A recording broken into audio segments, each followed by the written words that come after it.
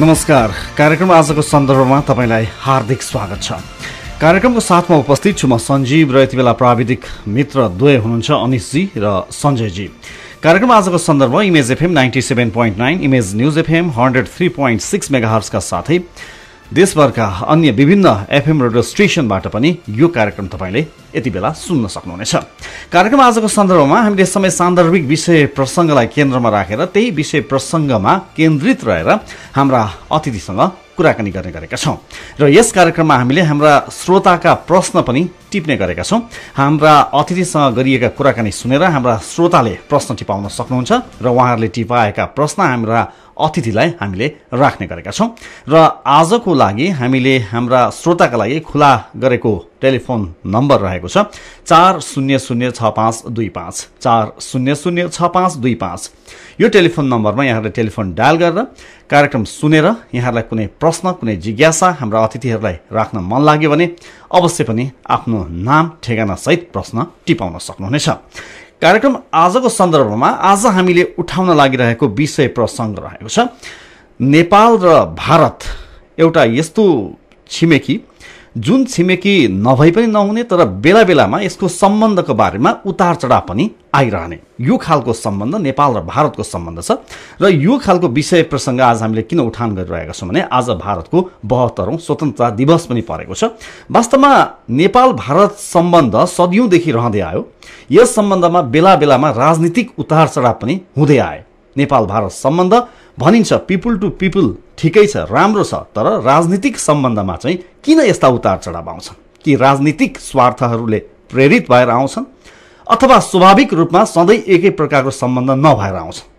र हाम्रो भारतसँगको सम्बन्धलाई कसरी बढाउनु पर्छ भनेर कुनै पनि सत्तारूढ सरकारले सत्तामा आसीन सरकारले अहिलेसम्म ठोस कुनै योजना दिएको पनि देखिँदैन।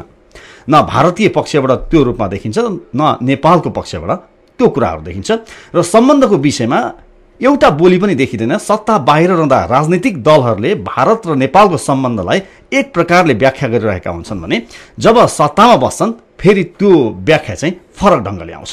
दुई हजार सात साल अघिको राजनीतिक गतिविधिदेखि लिएर हालसम्म पनि राजनीतिक परिवर्तनहरू जति पनि भए भारतको भूमिका काहीँ न काहीँ देखियो।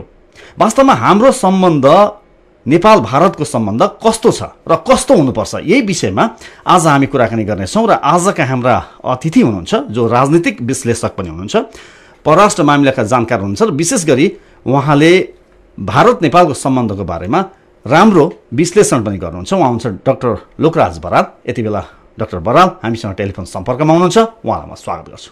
डाक्टर बराल हजुर। यहाँलाई कार्यक्रममा स्वागत छ। धन्यवाद।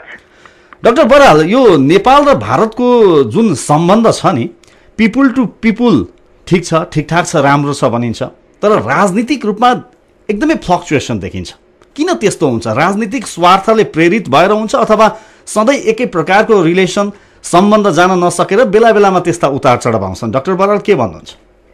एउटा त भारत र नेपालको सम्बन्धलाई गहिरो रूपमा बुझ्नुपर्छ र यो धेरै व्यापक गहिरो र चारैतिर फैलिएको छ। त्यस कारणले जति नजिकको छिमेकी भयो त्यही अनुसारको कहिलेकाहीँ उतार चढाव पनि हुन्छ केही मनमिटाव पनि हुन्छ।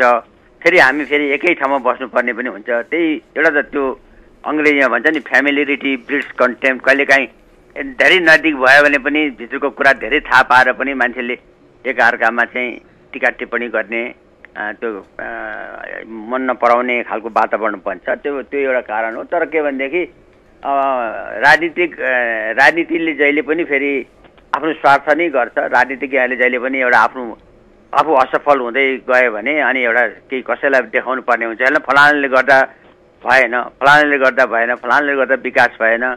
अब यो यस्तो भयो भने हरेक शङ्का उपशङ्का गराउने किन आफू घरभित्र चाहिँ गर्न केही नसकेपछि एउटा बाहिरको एउटा कसैलाई देखाउनु पर्ने हुन्छ। त्यो चाहिँ उहिलेदेखि यो राजनीति सुरु भएदेखि राज्य व्यवस्था सुरु भएदेखि नै त्यो एउटा हुँदै आएको। हो त्यसमा पनि यो राजनीतिको अस्वाभाविक कुरा होइन यो। तर के भने आफ्नो स्वार्थलाई कसरी राख्ने कसरी बचाउने मुलुकलाई कसरी भन्ने कुरा चाहिँ ठुलो कुरा हो। डाक्टर बराल जस्तो भनौँ न राजनीतिक रूपमा जुन राजनीतिक सम्बन्ध छ यसमा जुन उतार चढाव आउँछन् जब उतार चढावहरू आइरहेका हुन्छन् त्यस्ता बेलामा विभिन्न खालका आशंकाहरू पनि जन्मिरहेका हुन्छन्। भारतले पनि आफ्नो चाहना अनुसारको यहाँ पोलिटिकल गेम प्ले गर्छ भन्ने भारतलाई पनि आरोप र यहाँका सत्तारूढ सत्तामा बस्न चाहने जुन राजनीतिक दलका व्यक्तिहरू हुन्छन् जसको नाम जोडिएर आएको हुन्छ उनीहरूले पनि आफ्नो फाइदाको लागि आफ्नो कुर्सीको लागि चाहिँ भारतसँग चाहिँ सहयोग माग्छन् अथवा त्यो प्रकारको सम्बन्धलाई अगाडि बढाउँछन् भने त्यो खालको यता पनि आरोप। यो खालको स्थिति किन आउँछ डाक्टर बराल? होइन यो त यो किन आउँछ भने नभए अघि नै मैले भने नि जब आफूमा आत्मविश्वास भयो एउटा त हाम्रो तर्फबाट पनि के देखिन्छ भने हाम्रोमा पनि आत्मविश्वास छैन धेरै इन्फिनिटी कम्प्लेक्स एउटा लघुताभास एउटा मनस्थिति लिएर शङ्का उपशङ्का मात्रै गर्ने त्यो आफू जो आफूलाई परेको बेलामा कुरा कहानीमा चाहिँ दृढ भएर बोल्न नसक्ने आफ्नो राष्ट्र हितका कुरालाई राख्न नसक्ने अनि भर्सक अलिकति उसलाई खुसी हुँदैन कि भन्ने पनि एउटा मनोवृत्ति त्यो पनि देखाउने खालको पनि कारणले पनि हुनसक्छ। अरू कुरा अब उतातिर भारतको पनि एउटा जुन परम्परागत रूपमा चल्दै आएको सम्बन्ध हो उहिलेदेखिको ब्रिटिसकै पालादेखि भनौँ अथवा सोलीको सन्धि पछाडिका कुरादेखि लिएर अहिलेसम्मको त्यो मानसिकतामा अलिकति परिवर्तन उहाँ पनि आएको छैन। एउटा हाम्रो प्रभाव क्षेत्र हो नेपाल भन्ने। एउटा पुरानो एउटा थियो। त्यो हुन अब भौगोलिक रूपले हेर्दाखेरि हामी आबद्ध भएको हुनाले भारतसँग सम्बन्ध नहुने कुरै आउँदैन। हरेक कुरामा हामी सम्बन्धित छौँ। उनीहरूको नै मानसिकतामा अलिकति परिवर्तन पनि नभएको हो र मैले भने नि अब खुला सिमाना छ। हरेक किसिमको हजार किसिमको नाता गोता जोडिएको छ। राजनीति पनि छ अर्थ पनि छ फलानु पनि छ सामाजिक सामाजिक पनि छ कल्चरल पनि छ धार्मिक पनि छ। सबै भौ भौ- राजनीतिले पनि त्यसै बनाइदिएको छ। गर्दाखेरि पनि त्यो कारणले हुनसक्छ। त्यस कारणले यो यो अस्वाभाविक होइन यो चलिरहन्छ यस्तो प्रक्रिया। डाक्टर बराल जस्तो यहाँले भन्नुभयो नि जस्तो नेपाल र भारतको सम्बन्ध भनेको धार्मिक रूपले पनि छ नातागोता पनि छन् होइन आफन्तहरू पनि छन् यो कुराहरू गर्नुभयो। हामीले दक्षिण एसियाली मुलुकहरूमा हेरौँ त्यो खालको स्थिति त भारत र पाकिस्तानसँग पनि होला। कुनै दिन एउटै देश थिए होइन आफ्ना नातागोता होलान् धर्मका कुराहरू त्यहाँ पनि जोडिएलान्। बङ्गलादेशसँग पनि जोडिएला। तर भारतले जति सहज रूपमा नेपालीहरूलाई एउटा विश्वासको रूपमा अथवा जसरी सहज रूपमा लिएको देखिन्छ त्यो रूपमा त अन्य छिमेकी मुलुकहरूसँग त लिएको देखिँदैन नि। त्यो खालको परिस्थिति त हामीले देख्छौँ नि। त्यसैले त विशेष अब यहाँ मान्छेले विशेष सम्बन्ध छ हाम्रो अरू अरू अरू मुलुकको सम्बन्ध र हाम्रो सम्बन्ध संसारमै यो त अनौठो खालको छ। एउटा त स्वतन्त्र स्वाधीन राष्ट्र छ हामी नेपाल उहिलेदेखि नै कहिले पनि कसैको उपनिवेशमा पनि परेनौँ। त्यो एकातिर त्यो स्वाधीन एउटा आफ्नै सभ्यता संस्कृति आफ्नै पहिचान लिएर आएको एउटा मुलुक छ नेपाल। तर अर्कोतिर चाहिँ त्यो भारतसँग अब जोडिएको दुईवटा अलग अलग मुलुक भएका छन्। सभ्यता संस्कृति कल्चर आदिले हेर्दाखेरि धर्मको हिसाबले हिन्दू धर्म बौद्ध धर्म आदि धर्मले हेर्दाखेरि सबै न नजिक छौँ। त्यस कारणले यही कारणले गर्दाखेरि नेपाल चाहिँ भारतसँग विशेष सम्बन्ध भएको मुलुक हो। त्यस अब जतिसुकै हामीले होइन भने पनि त्यो वास्तविकतामा त्यस्तो खालको सम्बन्ध भएको मुलुक अरू संसारमा छैन। जस्तो भनौँ न डाक्टर बराल भारतले भारत र नेपालसँगको जुन सम्बन्ध छ नेपालले हामीसँग जति नजिक छ अथ- अथवा जुन किसिमको सम्बन्ध छ अरूसँग चाहिँ त्यो खालको सामिप्यता नराखोस् भन्ने कहीँ कतै चाहना राखेको महसुस हुन्छ? त्यस्तो लाग्छ त्यस्तो छैन। अब भारतलाई के भने पावर यो राजनीतिमा के हुन्छ भने अन्तर्राष्ट्रिय पोलिटिक्समा राजनीतिमा कि आफ्नो एउटा जे होस् आफ्नो क्षेत्र वरिपरि ठुलो राष्ट्रले जहिले पनि साना राष्ट्रहरूमा अरू कसैको यहाँ प्रभाव बढ्छ कि छिटोमिचो हुन्छ कि उसको सुरक्षालाई घात गर्छ कि त्यसले गर्दाखेरि भन्ने उसले जहिले पनि त्यो दृष्टि राखी छोडेको हुन्छ। कहिलेकाहीँ सानो कुराले गर्दा शङ्का पनि उब्जेको हुन्छ हतियार ल्यायो भन्ने कुरा अथवा कोही आतङ्ककारीहरू प्रवेश गरे भन्ने कुरा हरेक कुराका शङ्का उपशङ्का हुन्छ। फेरि यस्तो खुला सिमाना भएको यस्तो अवस्थामा त त्यो स्वाभाविक हुन्छ। एउटा ठुलो राष्ट्रले जहिले पनि आफ्नो वरिपरिको राष्ट्रहरूलाई कुनै कुनै रूपमा सम्भव भएसम्म सम्भव भएसम्म एउटा सानो प्रभाव क्षेत्र आफ्नै आफ्नै उसमै रहिरहन् भन्ने चाहिँ इच्छा हुन्छ। अब पाकिस्तानसँग हुन सक्दैन किनभने पाकिस्तानको पाकिस्तान टुक्रेकै एउटा नेगेटिभ एउटा नकारात्मक रूपले गयो। हिन्दूहरूले चाहिँ दबाए यो गरे भनेर चाहिँ एउटा मुसलमानहरूले चाहिँ एउटा भनौँ न उनीहरूले चाहिँ हरेक अलग्गै राष्ट्र बनाएर गए र अहिले चाहिँ धर्मकै आधारमा चाहिँ पाकिस्तान चाहिँ पेस गरेको र अब हिन्दू असी एकासी प्रतिशत हिन्दू भएको भारतलाई पाकिस्तानले त्यही दृष्टिकोणले पनि हेर्छ। त्यो भएर अलिकति वैमनस्यता यसरी बढेको हो। एउटै मुलुक फुटेर पनि गयो हुन त बङ्गलादेश पनि पहिले भारतकै थियो। पछाडि पाकिस्तानमा गयो। पाकिस्तानबाट पनि फुट्यो। त्यस कारणले हाम्रो हाम्रो सम्बन्ध चाहिँ भा अरू मैले भने नि दक्षिण एसियाकै मुलुकहरू अथवा दक्षिण पूर्व एसियाकै मुलुकहरू अथवा अरू क्षेत्रका मुलुकहरू र नेपाल भारत सम्बन्धको लाई हामीले तुलनै गर्न सक्दैनौँ। यो हाम्रो आफ्नै विशिष्ट किसिमको सम्बन्ध हो। डाक्टर बराल हामीले यस कार्यक्रममा हाम्रा श्रोताका प्रश्नहरू पनि टिप्ने गरेका छौँ र म फेरि एकपटक श्रोतालाई म यो टेलिफोन नम्बर भन्छु चार शून्य शून्य छ पाँच दुई पाँच। यसमा तपाईँहरूले हाम्रो कार्यक्रम सुनेर प्रश्न टिपाउन सक्नुहुन्छ। एकजना श्रोताले नेपालगञ्जबाट हामीलाई प्रश्न टिपाउनु भएको छ डाक्टर बराल। उहाँले प्रश्नमा लेख्नु भएको छ टिपाउनु भएको छ। सीताराम अधिकारी हुनुहुन्छ नेपालगञ्जबाट। नेपाल र भारतको सम्बन्धको कुरा गर्दाखेरि यो जग्गा अतिक्रमण गर्ने र डुबानमा भारतको चाहिँ भूमिका रहेको यस्ता कुराहरू चाहिँ हामीले देखिरहेका छौँ। यसको दीर्घकालीन समाधान गर्न अथवा यो विषयमा चाहिँ स्पष्ट रूपमा कुराकानी गर्न किन सक्दैनौँ हामी भनेर चाहिँ सीताराम अधिकारीले नेपालगञ्जबाट प्रश्न टिपाउनुहुन्छ के भन्नुहुन्छ डाक्टर बरा उहाँले भनेको कुरा सही हो। यो मैले बिस पच्चिस वर्षदेखि तपाईँले धेरै प्रधानमन्त्री म दुई तिनवटा प्रधानमन्त्रीसँग पनि गएको थिएँ। भारत भ्रमणमा पनि गिरिजा प्रसाद कोइरालासँग पनि गएँ शेरबहादुरसँग पनि गएँ। त्यति बेलादेखि तपाईँले हेर्नु भने यो संयुक्त विज्ञप्तिमा यो डुबानलाई कसरी रोक्ने भन्ने कुराहरूमा परेको छ संयुक्त विज्ञप्ति अब आज बिस बाइस वर्षदेखि त्यही कुरा दोहोरिरहेको हुन्छ तर कार्यान्वयन केही पनि हुँदैन।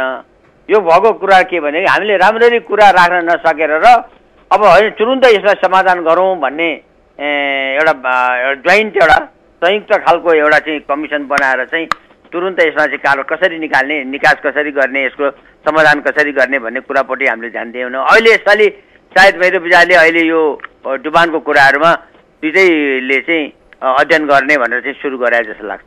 डाक्टर बराल मैले आज मात्रै मैले एउटा राष्ट्रिय दैनिकमा समाचार पढेको थिएँ कि यो कोशी ब्यारेजमा अर्धसैनिक बल राख्न भारतको दबाव भन्ने शीर्षकमा एउटा समाचार प्रकाशित भएको छ। यो विषयमा के भन्नुहुन्छ डाक्टर बराल? मैले पनि मैले पनि हेरेको थिएँ। अब यसो आधिकारिक यो पत्र अहिले पत्रिकामा आगै भरमा सबै कुरा त्यही तथ्य हो भन्ने कुरा पनि होइन। के आधारमा भनेको छ कुन पृष्ठभूमिमा भनेको छ त्यसैबित्त हामीले हचुवाको भरमा अहिले नै यो कमेन्ट गर्न मिल्दैन।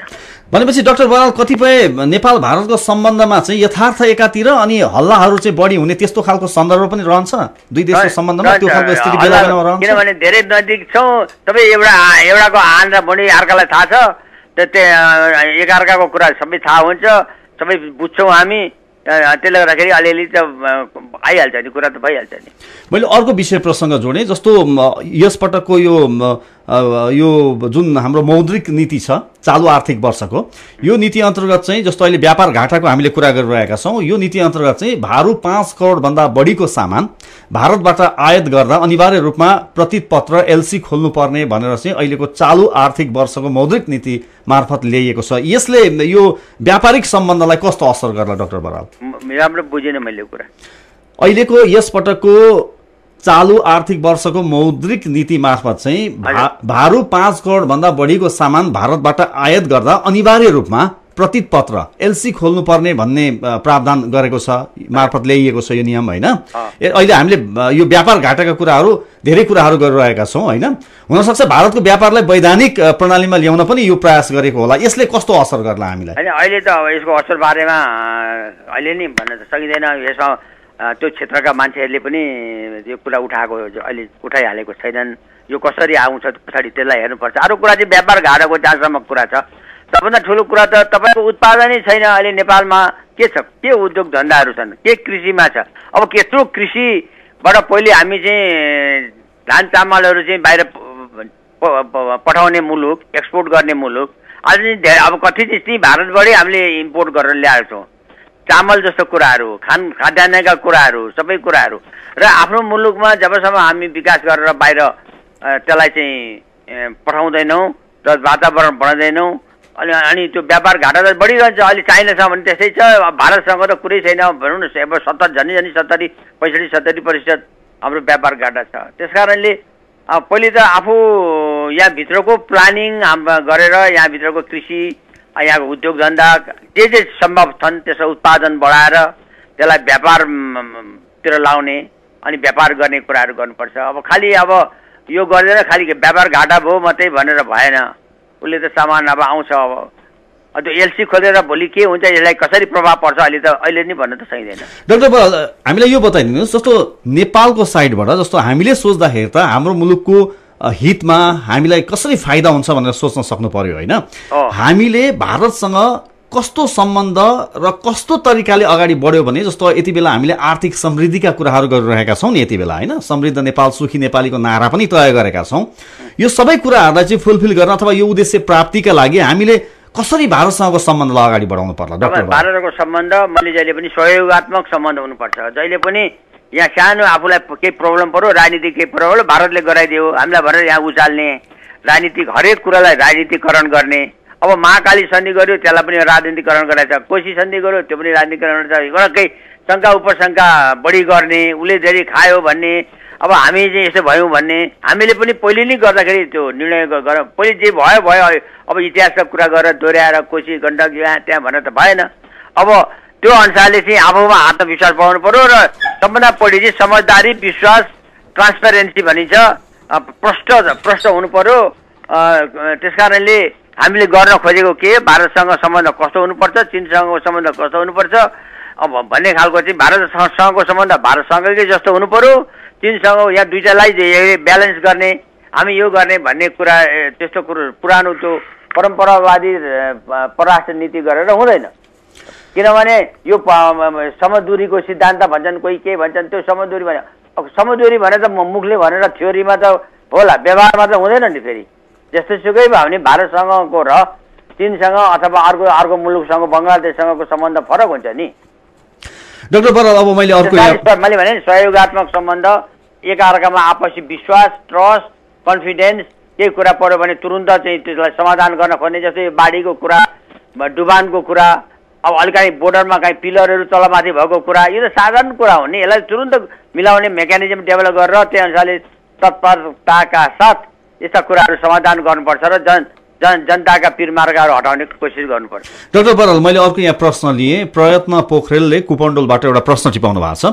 उहाँले प्रश्नमा भन्नुहुन्छ संविधान जारी भएपछि भारतले अघोषित रूपमा जुन किसिमको नाकाबन्दी गर्यो नेपालको सार्वभौम सत्तामाथि हस्तक्षेप गरे जस्तो देखिन्छ। के यो जायज थियो? यस्तो बेलामा हामीले कस्तो खालको सम्बन्धलाई अगाडि बढाउनु पर्ला भनेर अब यस्तो कुरा के भनेदेखि एउटा एउटा सन्दर्भ थियो त्यति बेला सन्दर्भमा त्यो नाकाबन्दी पहिले पनि भएको हो दुई तिनपल्ट पहिले पहिले पनि भएको छ अहिले मात्रै यसपालि मात्रै भएको होइन। अब त्यो भारतले गल्ती गरेको कुरा भारत सरकारले नै महसुस गरेर अहिले कोर्स करेक्सन भन्छौँ फेरि आफ्नो अलिकति होइन अब सम्बन्ध राम्रो गर्नुपर्दो रहेछ भनेर अहिले ओलीजीसँगै राम्रो सम्बन्ध भइसक्यो।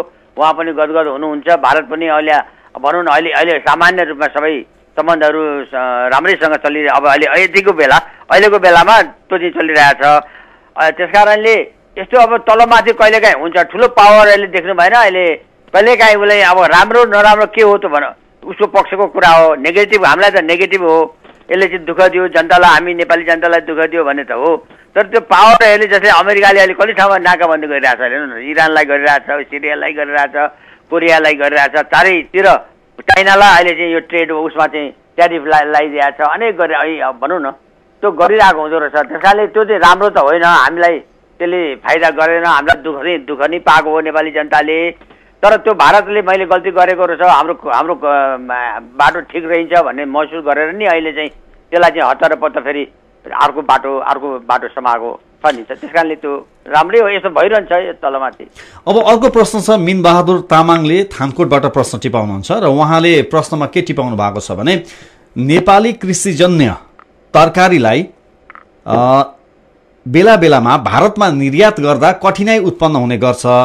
यो भनेको दैनिक उपभोग्य वस्तु यस्ता यो कृषिजन्य तरकारीमा पनि यो खालको स्थिति हुँदाखेरि सरकारको भूमिका चाहिँ कस्तो हुनु पर्ला भनेर मिनबहादुर तामाङले थानकोटबाट प्रश्न टिपाउनु भएको उहाँले भनेको कुरा ठिकै हो। अहिले भर्खरै पनि हाम्रै मेरै क्षेत्र पर्छ जिल्लामा झापातिर पनि उहाँ अस्ति अस्ति कतिवटा सामानहरू चाहिँ बाहिर जान जान पाएन। अब उनीहरूले पनि अब फ्याक्टर रोकिदिएको हुन्छ त्यो स्थानीय स्तरमा माथि माथिको सरकारले यसलाई रोक भने पनि हुँदैन। त्यो तलको स्तरले हुन्छ जस्तो क्वारेन्टाइन गरे हुन्छ कोही कोही सामानहरू चाहिँ उनीहरूलाई शङ्का हुन्छ बाहिरबाट ल्याएको हो कि भन्ने हुन्छ। बाहिरबाट ल्यायो नेपाललाई भित्राएर फेरि भारततिर पठाउने पनि भन्ने पनि हुन्छ। र कहिलेकाहीँ चाहिँ उनीहरूले चाहिँ विभिन्न नियतगत उसले नियत पनि नराम्रो पनि हुनसक्छ स्थानीय स्तरमा। पैसा खाने दृष्टिकोणले पनि हुनसक्छ कतिवटा कारण हुन सक्छन् त्यस कारणले त्यो भारत सर सम्पूर्ण भारत सरकारको नीति त्यो अनुसार होइन।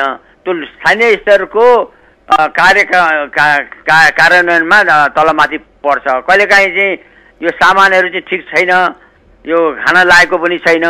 यो बढी विषा विषाक्त युक्त पो छ कि भन्ने पनि शङ्का गरेको हुन्छ।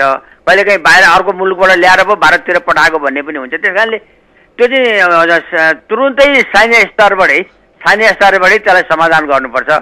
र त्यसको मेकानिजम बनाउनुपर्छ दुइटै सरकारले। अब हामीसँग समय कम रह्यो डाक्टर बराल अब हामीलाई यो बताइदिनुहोस्। अब समग्रमा अहिलेको वर्तमान सरकार र भारत बिचको सम्बन्ध सुधारियो भन्ने खालको म्यासेजहरू आइरहेको छ अहिले भर्खरै मात्र यहाँकै शब्द सापट्टि लिने हो भने प्रधानमन्त्रीज्यू गदगद हुनुहुन्छ भन्ने शब्द यहाँले प्रयोग पनि गर्नुभयो। वर्तमान अवस्थामा नेपाल र भारतको सम्बन्ध कस्तो छ? हामीलाई यो बताइदिनुहोस् फाइनल्ली एउटा चाहिँ दुईवटा सम्बन्धका दुईवटा रूप हुन्छन्। एउटा सब्सटान्टिभ सब्सटान्समा भन्दाखेरि म कहिले पनि नेपाल भारत सम्बन्ध एकदम भयङ्कर फरक पर्छ भन्ने मेरो भनाइ छैन कहिले पनि हुँदैन। हामी यस्तो यस्तो सम्बन्ध छ कि नमिलिकन सुखै छैन। मिलेरै बस्नुपर्छ दुई एक दुई महिना तलमाथि दस पन्ध्र दिन केही न केही घाजाङगुजुङ भए पनि आखिर हामी दुइटै मुलुक नमिलिकन सोध्दैछन्। त्यो त्यसकारणले जहिले पनि सहयोगात्मक सकारात्मक सोच राख्नुपर्छ। भारत भारतका नेताले पनि हाम्रो हाम्रा नेताहरूले पनि हामी सबैले पनि त्यो दृष्टिकोण अहिलेको अहिलेको यति बेलाको अवस्थामा हेर्दाखेरि चाहिँ अहिले भारत र नेपालको सम्बन्ध सामान्य छ। त्यसमा अहिले वेट एन्ड वाच हेरौँ भन्ने नै छ। के हुन्छ? फेरि भारतमा अहिले चुनाव हुन लागेको छ दुई हजार उन्नाइसमा। त्यो बेलासम्म के हुन्छ? त्यस कारणले अहिले चाहिँ सामान्य रूपमा छिमे छिमेकीहरूसँग सम्बन्ध राम्रो हुनुपर्छ भन्ने भारतको पनि सोच छ। अब हामी त अब हामी त राम्रो नि सम्बन्ध बनाउनुपर्छ भन्नेमै छौँ। त्यस कारणले अहिलेको अवस्था ठिकै छ। हस् त डाक्टर बराल। यहाँले हामीले समय दिनुभयो। हामीसँग कुराकानी गरिदिनु भयो यहाँलाई धेरै धेरै धन्यवाद। हस् धन्यवाद। उहाँ हुन्थ्यो राजनीतिक विश्लेषक परराष्ट्र मामिलाका जानकार र विशेषतः नेपाल भारत सम्बन्धका जानकार डाक्टर लोकराज बराल उहाँसँग हामीले आज भारतको बहत्तरौँ स्वतन्त्रता दिवस हो। नेपाल र भारत बिचको जुन खालको सम्बन्ध छ बेला बेलामा उतार चढाव आइरहन्छ फ्लक्चुएसन फ्लक्चुएसन देखिन्छ। यही विषय प्रसङ्गमा केन्द्रित रहेर हामीले कुराकानी गऱ्यौँ। प्राविधिक मित्रद्वय सञ्जय र अनिस दुवैलाई धन्यवाद भन्दै कार्यक्रम आजको सन्दर्भबाट म सञ्जीव पनि बिदा हुन्छु। हामीलाई सुन्दै रहनुहोला। नमस्कार।